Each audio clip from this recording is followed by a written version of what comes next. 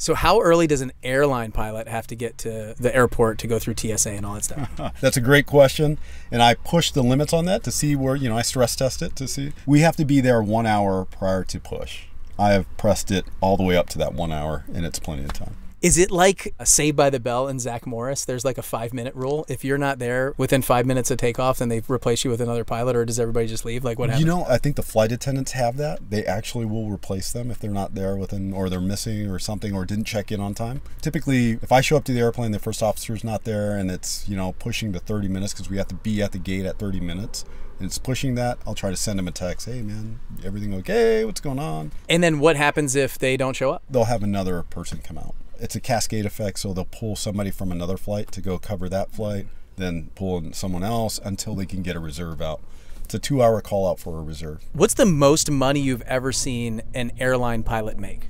about 700k plus but that was under the old uh, contract our new contract guys will make over a million Over a million in one year? over a million in a year Wow. How long do you think it takes for somebody who's just starting to fly to get to over a million a year if they want to do that? you know I, I think these guys are super senior they know how to run the system you would have to be at the airline man 20 years So at the airline for 20 years and maybe like seven or eight years to get there? yeah seven eight years to get there about 20 years and, and that will vary What's the fastest you've ever seen somebody who has had zero hours and never started flying to get to an airline? interviewed somebody with five years and they got hired So from never flying to five years of flight time. five years Wow, that's awesome. What's the best airline to fly for? southwest Uh, what's your favorite place that you've ever flown to, whether it's on a charter or commercial flight? Ooh.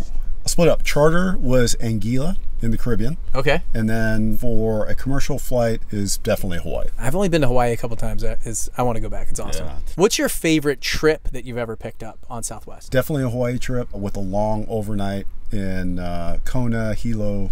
Awesome. I hear this all the time from airline pilots when they say an overnight. Like, what does that mean? Is it just like one night? What is that? It is just one night. Typically ranges from 16, uh, could go as low as 12 hours, up to 24 hours. So a long overnight is like 20 to 24 hours or something? For us, yes. There's some airlines that will do 36, 48 hour overnights, like FedEx. They'll do long overnights, but they typically fly two week trips. How come you don't fly for FedEx? You know, I tried. Really? I applied to FedEx and Southwest. and Southwest is, took you and FedEx said no? I never got the interview at FedEx. I thought maybe it would be better flying just cargo that doesn't talk back to you. I don't know. What do you think? You know, I love being an airline pilot. So I, I always said, hey, the two companies I would ever want to work for are these two companies, and whoever hires me first, that's where I'm going to be. Cool. How long have you been to Southwest? 13 years. Wow. Awesome.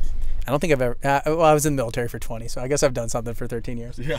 What's the best piece of aviation advice you've ever gotten? Just go in with a humble attitude and be willing to learn. I think that's really important. I think there's a lot of aviators that are Oh, kind man. of cocky. Oh, yeah. You know, especially Navy aviators. What do you think? I think Air Force too. Oh, Uh, for might- sure. We might have you built on, beat on that one.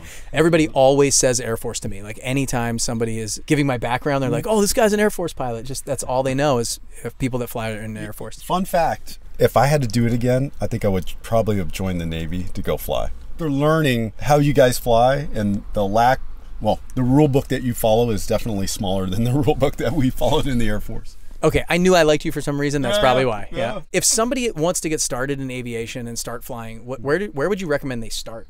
I would say just even the local flight school, just take a discovery flight just to see if you really like it. It's one thing to watch the airplanes fly.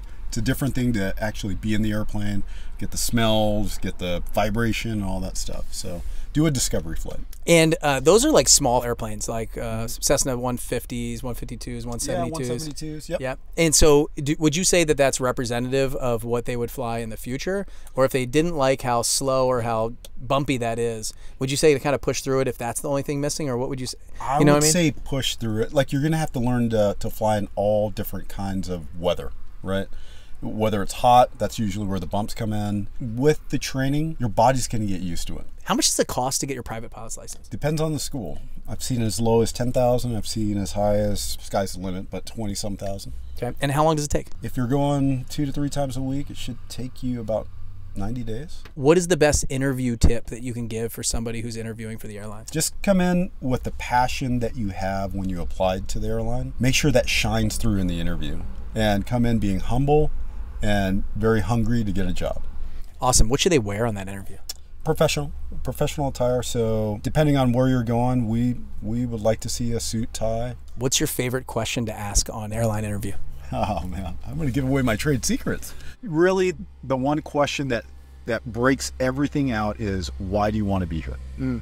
That I can go in many different directions. What is the best watch to buy if you are getting into aviation? I would say Hamilton. Oh, I love a Hamilton. I actually own a Hamilton. Most people don't know what that is. Yeah, I know. They're one of the oldest watch companies in the country. Well done, Hamilton. You heard it here.